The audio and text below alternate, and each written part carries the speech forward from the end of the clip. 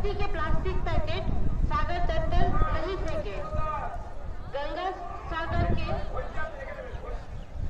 सभी दुकानदारों को यह अनुरोध किया जा रहा है कि अगरबत्ती के प्लास्टिक पैकेट सागर तट पर नहीं फेंके। ठीक है?